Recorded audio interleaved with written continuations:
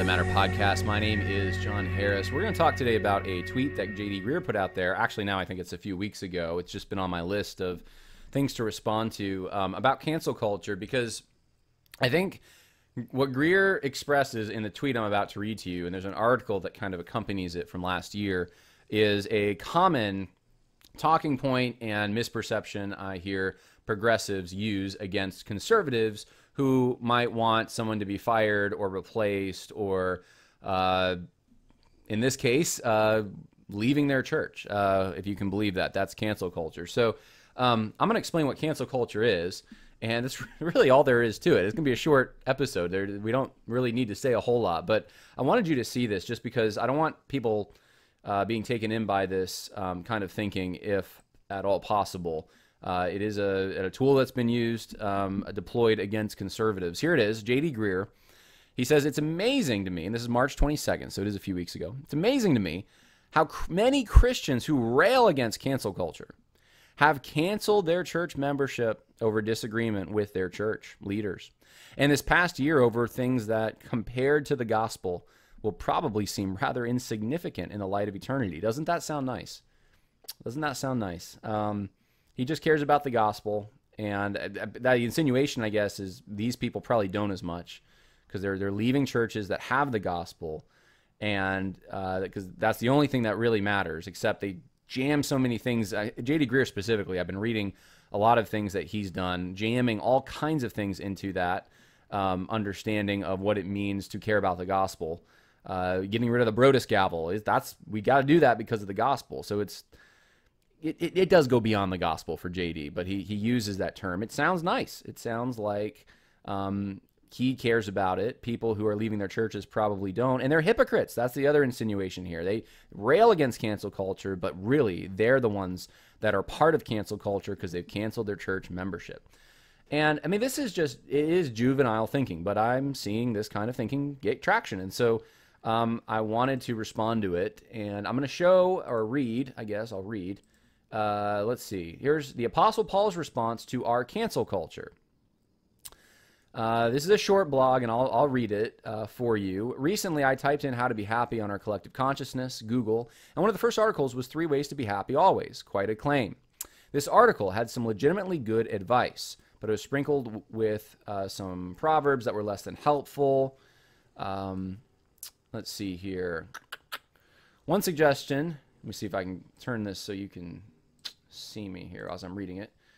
Um, one suggestion, he says, was that seek out our positive positive relationships with happy, optimistic, and cheerful people. If you're struggling with your current relationships, seek out new ones. In other words, the moment people get things get difficult, uh, try deleting and replacing those people. This is enthroned activity in our society. Now, there's an element of truth here, and it's one that in many circles is too often missed. There are times when it's wise to regulate relationships. Uh, if you're abused, if you're taken advantage of, he gives some scenarios. Um, sadly, however, he says this kind of relational regulation gets warped when it is applied to other conflicts. The recent rise of cancel culture, for instance, is an extreme version of this impulse. For many people, the way to deal with difficult relationships is not to fix them, but simply to end them. Got a friend causing problems in your life, cut them out. Someone in your small group says insensitive things, leave that small group and find a new one. Um, the Apostle Paul says in Romans 12, if possible, be at peace with everyone.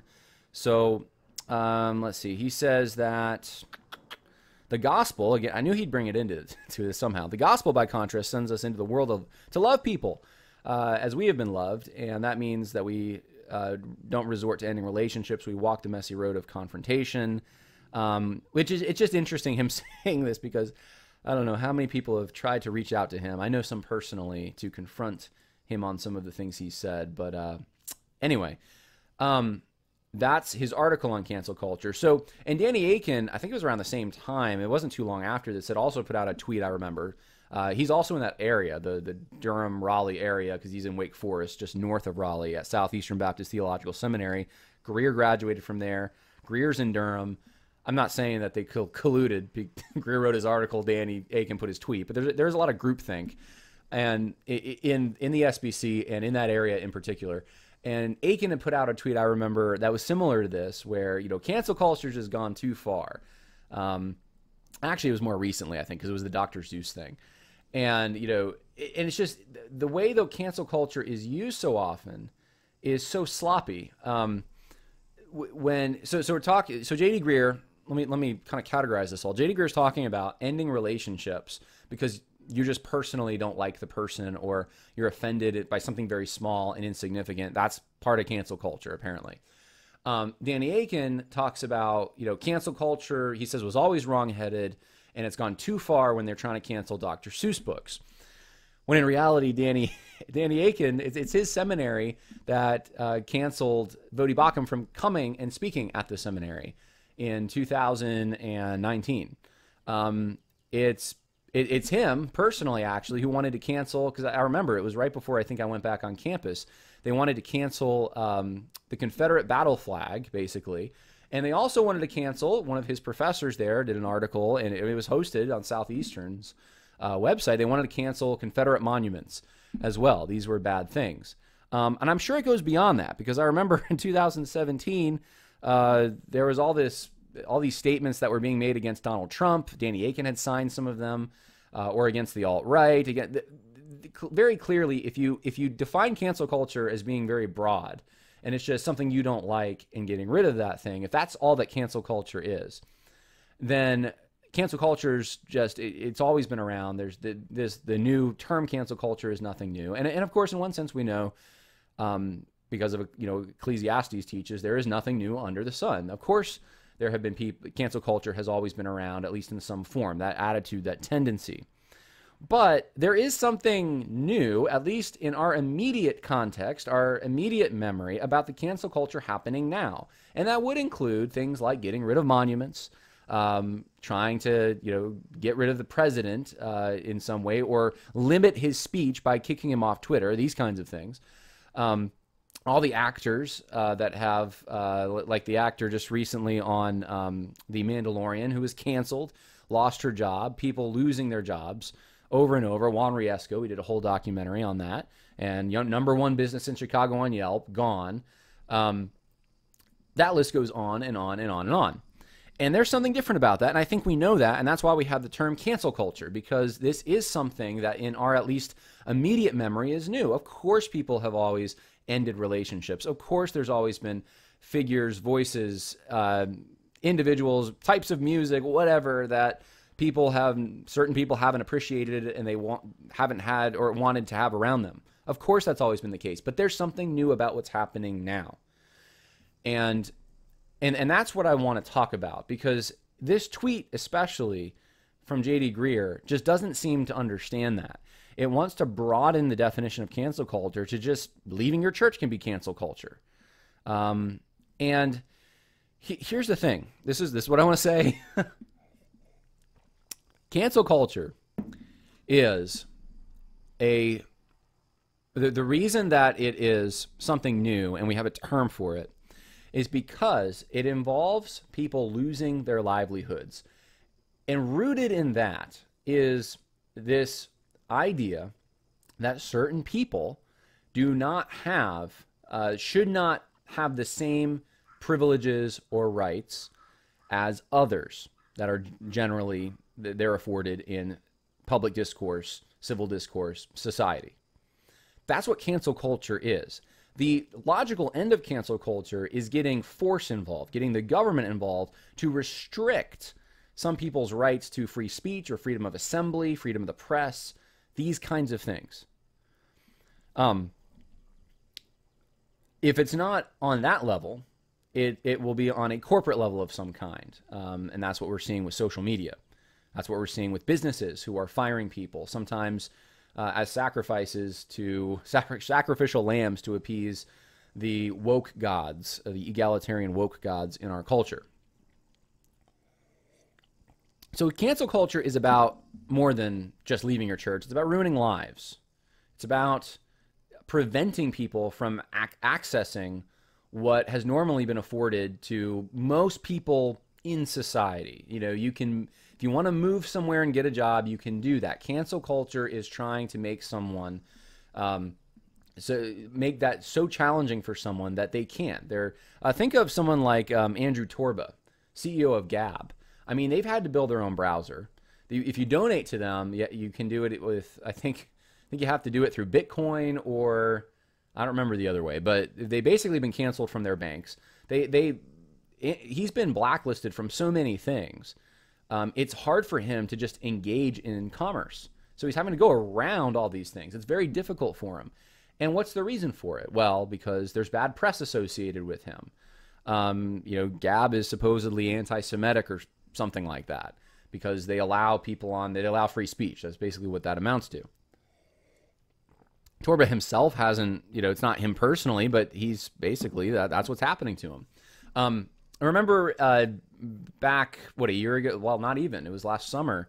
Uh, there was a police shooting in Atlanta. Ray, Ray, uh, I think it was Rayshard, if I'm not mistaken. Brooks, I think was the name.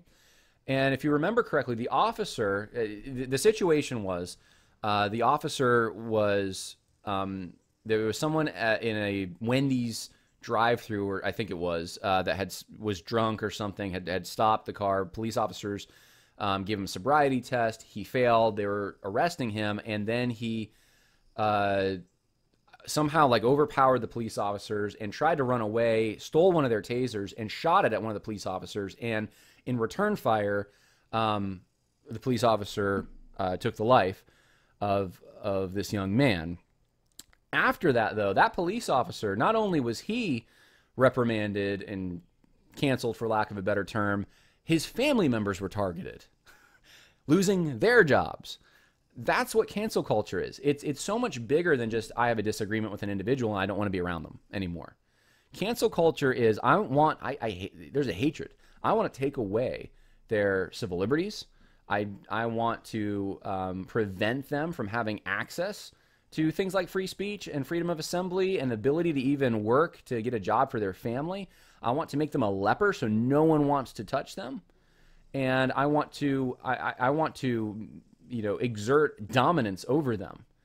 That's that's what cancel culture is. That's why there's a new term for it. That's why that's what makes this different. Um, these certain these statues are not acceptable in our society anymore to be displayed. They must be memory hold. They must be forgotten. Uh, they must be, um, there is no honor associated with them whatsoever. Nothing worth, uh, valuable, worth um, remembering.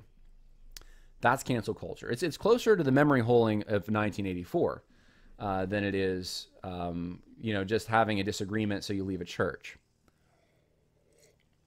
So J.D. Greear here is uh, playing fast and loose with this definition by putting his own spin on it and taking it out of the historical context that has created this term to basically uh, minimize it to just leaving your church because you disagree with and, and, what? You disagree with your church leaders over things that compared to the gospel probably seem rather insignificant? Well let's see. The two big things that people are leaving their churches over. Number one um, they're not open. Uh, they're you know I, I, it's amazing to me um, some of the churches that even are opening still are having restrictive openings or certain ministries aren't going or there's there's most churches still have some kind of a restriction because of covid in my experience at least. Um, and and and many people are leaving their churches because sometimes they're not open at period but other times it's like they don't you know they, they, they maybe the serve you can go to a service or something with a mask probably but uh, your bible studies are canceled or something you're not you're not you're not getting the interaction that you used to have um, which is part of you know going to church is the fellowship, the interaction, uh, using your spiritual gifts in a corporate context. I mean, what's the point if you don't have those things? If it's just going to listen to a lecture, you can do that on YouTube. You get exegetical preaching on YouTube, right? Um, there, there's a reason you go to the physical location and you meet with believers, and so that's that is a significant enough disagreement, especially since uh, gathering together is um, pretty much an assumption if you're going to be using your gifts, using the full spectrum of gifts. Uh, and um, to leave your church over that because that's not happening is completely legitimate. Uh, it doesn't have to be somehow tied to the gospel, you know, directly to justify leaving a church. Um, what's the other thing that people are disagreeing over? Well, social justice, right? Uh, the whole BLM movement and uh, churches that got on the bandwagon and bought into postmodern ideas, standpoint theory, bought into neo Marxist ideas, redistribution schemes of some kind, or at least they bought into the Marxist critique of America and made that tethered that in often is the case to the gospel in some way. Uh, either creating something similar to a Galatian heresy, where you have to do these social justice things to be true to the gospel somehow, uh, or it's part of your gospel work, or um, just making that part of Christian ethics when it's not, it's egalitarian, and it actually contradicts Christian ethics. That's also significant enough to leave a church over. Um, their view of truth is significant enough to leave a church over. If they don't believe in objective truth, then that destroys revelation. Why go to a church like that? That's that you're no better off going to a church like that than you would be going to a completely modernist liberal church that thinks that the Bible's not true, but it's got some nice stories that we should believe because um, those stories are significant in in some deeper, you know, spiritual way. Uh, it, it either way, you're you're dealing with the same problem. You don't actually believe this is true. So uh, those are significant enough disagreements, and they don't have to be tethered to the gospel. So th- this whole tweet is terrible, um, and it's just all it is is manipulation. It is just, you know, it is insinuating people who've left their church are hypocrites, and that um, they don't care about the gospel. That is what J.D. Greear is trying to communicating, and it's pretty disgusting. And he's got a really, uh, the words coming to my mind is slithery, slippery. He's got a really slippery way of communicating all that. Um, and it's just uh, it's sad. So I, I, wanted to put that out there uh, just to correct that notion. And so the next time you hear someone saying, "Well, you know, conservatives or Christians or I don't know whatever group is they're forwarding cancel culture because oh I don't know maybe they want someone apologizing for something they said." Uh, which was an error, or maybe they want someone, um, you know, fired from their job because you know they don't actually believe the gospel, but they're teaching at an institution that says they believe the gospel. Uh, that's not cancel culture, not necessarily. You, and you can correct that. You can say, well, are we trying to make that person a leper? Are we trying to take their away their civil uh, liberties? Are we trying to prevent them from making a living to feed their family? Are they are those people uh, you know trying to somehow change laws or uh, corporate policies to um, prevent people from having the ability to freely communicate their ideas. If that's not the case, then it's not really cancel culture because cancel culture is unique.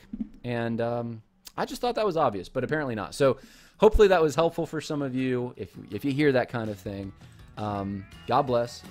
Rant over, I guess. Uh, and last but not least, I do want to um, just mention if if you are, I know I said this yesterday, but if you are uh, in the Lynchburg area. If you're, if you, even if you're not, if you're close by, come join us on Saturday, on April 17th here at Juan Riesco. Uh, we're going to screen Paint the Wall Black. Link is in the info section, and he's going to be there to take questions. I will be there as well if you want to meet me, and I hope that um, that you can make it. There is a limit to the seating, so you want to sign up now.